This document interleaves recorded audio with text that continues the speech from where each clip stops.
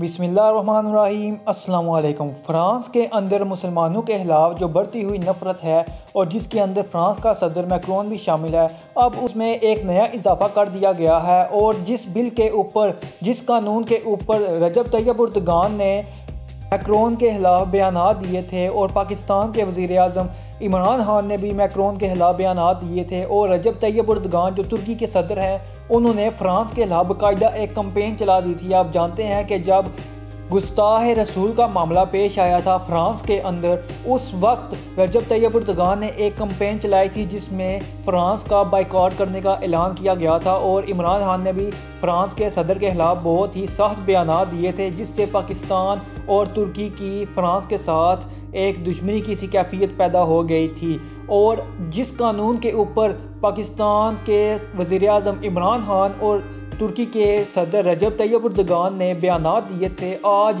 وہ قانون فرانس کی پارلیمنٹ سے پاس کر لیا گیا ہے۔ اس قانون کے جو چند اہم نکات ہیں، آپ کو وہ بتاتے ہیں، لیکن پہلے آپ سے گزارش ہے کہ ہمارے اس چینل کو لائک، سبسکرائب اور شیئر ضرور کریں۔ آپ کو بتائیں کہ جو وہ قانون انہوں نے نیا پاس کیا ہے فرانس کی پارلیمنٹ کے اندر میکرون نے اس میں کہا گیا ہے کہ آج کے بعد آپ کوئی بھی پورے ملک کے اندر خاص طور پر مذہبی حوالے سے یا کوئی ایسی تنقید جو آپ کو مذہب کے حوالے سے لگے تو آپ اس کے اوپر بات نہیں کر سکتے۔ یعنی کہ اگر کوئی بھی شخص آپ کے مذہب کے اوپر تنقید کرتا ہے، اسلام کے اوپر تنقید کرتا ہے، سوشل میڈیا کے اوپر تنقید کرتا ہے، تو آپ اس آدمی کو جو ہے کنڈیم نہیں کر سکتے اور نہ ہی کوئی ایسی چیز اس کی وائرل کر سکتے ہیں اور اگر وہ ایسا کرتا ہے آدمی اور اگر کسی نے ایسا کوئی گستہانہ کام کیا ہے تو آپ اس قانون جو یہ نیا قانون بنایا گیا ہے فرانس کا اس کے تحت آپ کسی بھی اس شخص کی کوئی بھی پبلک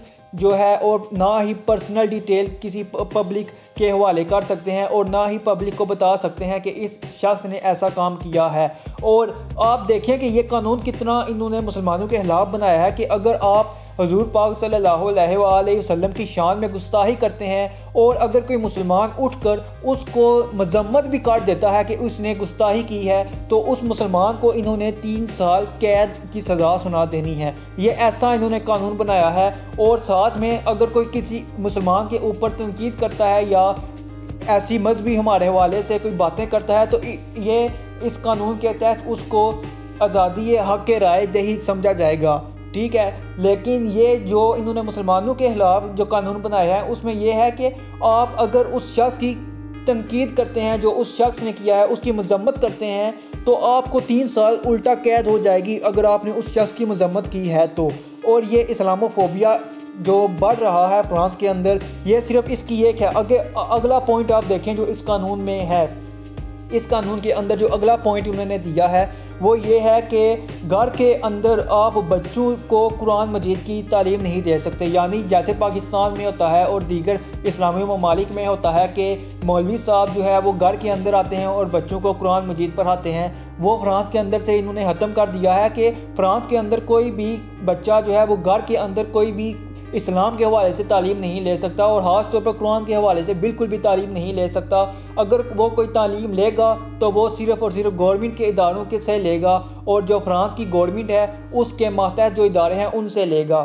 اور جو اگلا انہوں نے اقدام کیا ہے، اس میں یہ ہے کہ امام جو بھی ہوں گے مساجد کے، ان کے اوپر کری نظر رکھی جائے گی اس قانون کے تحت۔ اور جتنے بھی امام ہوں گے، ان کے اوپر کری نظر رکھی جائے گی اور وہ جو بھی خطبہ دیں گے، وہ فرانس کی گورنمنٹ ان کو دے گی کہ آپ اس جمعے کو یہ خطبہ دیں گے یا اگر آپ کسی بھی محفل میں ہیں، تو اس محفل میں یہ خطبہ امام دے گا، یہ فرانس کی گورنمنٹ لکھ کر دے گی امام کو اور امام وہ خطبہ دے گا۔ وہ چاہے جس طرح کا مرضی خطبہ دلوا دیں، چاہے مسلمانوں کے خلاف خطبہ دلوا دیں۔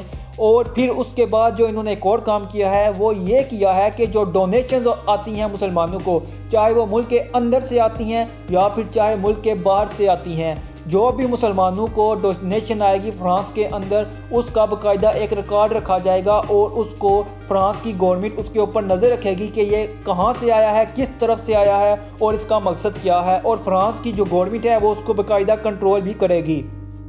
ساتھ ہی آپ کو بتاؤں کہ کوئی بھی شخص ایک سے زیادہ شادی نہیں کر سکتا اس قانون کے تحت۔ حالانکہ مسلمانوں کے اندر چار شادیاں جائز ہیں، لیکن جو فرانس کی گورنمنٹ نے نیا قانون بنایا ہے، اس میں کوئی بھی شخص ایک سے زیادہ شادی نہیں کر سکتا۔ آپ کو بتاؤں کہ انہوں نے یہ شادی والا سسٹم کیوں کیا؟ کیونکہ انہوں، ان جو یورپ ہے، وہ اس وقت گھبرایا ہوا ہے مسلمانوں سے۔ ہال لینڈ کی جو ایک انٹیلیجنس رپورٹ ہے، جو ایکسپرٹس کی رپورٹ ہے، ان کے مطابق دو ہزار چالیس تک پورے کے پورے یورپ میں مسلمان اکثریت میں آ جائیں گے اور یہی حال فرانس کا بھی ہے اور فرانس میں بھی مسلمان اکثریت میں آ جائیں گے۔ آپ جانتے ہیں کہ مسلمانوں کا خاندانی نظام جو ہے وہ بہت ہی زیادہ بہتر ہے۔ باقی کی لوگوں کی نسبت جو باقی مذاہب ہیں، ان کی نسبت اور مسلمانوں کے اندر جو طلاق کی شرح ہے، وہ بھی نہایت ہی کم ہے۔ بلکہ نہ ہونے کے برابر ہے مسلمانوں کے اندر طلاق کی شرح کی اور مسلمانوں میں جو شادی کا ایک مقدس رشتہ ہے، اس کو بہت ہی زیادہ اہمیت دی جاتی ہے اور مسلمانوں کے جو خاندانی نظام ہے وہ دیگر یورپ کے جو ممالک ہیں، ان سے کافی زیادہ بہتر ہیں اور مسلمانوں کی آپ جانتے ہیں کہ مسلمان بچے بھی بڑی تیزی سے پیدا کرتے ہیں اور شادیاں جو ایک سے زیادہ شادیاں کرنے کا اسلام میں مقصد ہے، وہ بھی یہی ہے کہ حضور پاک صلی اللہ علیہ وآلہ وسلم کی خواہش تھی کہ ہماری امت جو ہے، مسلم امت، وہ تعداد میں قیامت کے روز زیادہ ہو اور پھر اور بھی اس کے اندر بہت سارے فیکٹرز آ جاتے ہیں اسلام کے حوالے سے۔ لیکن انہوں نے یہ جو قانون بنایا ہے، یہ صرف اور صرف مسلمانوں کو ٹارگٹ کرنے کے لیے بنایا ہے۔ اور اس کے بعد جو انہوں نے عورتوں کے حوالے سے قانون بنائے ہیں، وہ بھی بالکل ہی اسلام کے مخالف قانون بنائے ہیں۔ اور انہوں نے جو اسلام کے سمبلز ہیں، جیسے حجاب ہو گیا، اس کے اوپر بھی فرانس کے اندر پابندی لگا دی گئی ہے۔ اس قانون کے تحت کہ کوئی بھی مسلمان عورت جو ہے، وہ حجاب نہیں پہنے گی۔ اور پھر جو انہوں نے ایک اور کام کرنا ہے، اب مستقبل کے اندر جو مسلمان ٹوپی پہنتے ہیں، اس کو اوپر بھی انہوں نے پابندی لگا دینی ہے، کیونکہ یہ مسلمانوں کی نشانی ہے جو ٹوپی وغیرہ ہے۔ اور پھر آپ جانتے ہیں کہ یہ سبھی کام جو اس وقت میکرون کر رہا ہے، یہ صرف اور صرف اسلام و فوبیا کا شکار ہے۔ اس وقت یورپ، اور وہ یورپ گھبرایا ہوا ہے کہ مسلمان بہت ہی تیزی کے ساتھ اپنی تعداد بڑھاتے جا رہے ہیں۔ یورپ کے اندر اور جو فرانس کو سب سے بڑا خطرہ ہے، کیونکہ ایکسپرٹس کی رپورٹ ہے کہ دو ہزار چالیس تک مسلمان فرانس کے اندر بھی اکثریت میں آ جائیں گے، جس طرح سے مسلمانوں کی تعداد بڑھتی جا رہی ہے اور جو نان مسلم اسلام تیزی کے ساتھ قبول کر رہے ہیں۔ اور یہی وجہ ہے کہ میکرون نے یہ قانون پاس کیا، کیونکہ فرانس کو خطرہ ہے کہ کہیں مستقبل کے اندر فرانس کے اندر کوئی مسلمان جو ہے وہ صدر نہ بن جائے یا وزیر اعظم نہ آ جائے کوئی مسلمان اقتدار کے اندر ہی نہ آ جائے۔ اور اس وقت جو موجودہ حالات ہیں فرانس کے، فرانس کی چھ کروڑ آبادی ہے، چھ کروڑ فرانس کی آبادی ہے، جس میں سے اس وقت ستانوے لاکھ مسلمان ہیں۔ اور مسلمانوں کی آبادی بہت ہی تیزی کے ساتھ بڑھتی چلی جا رہی ہے۔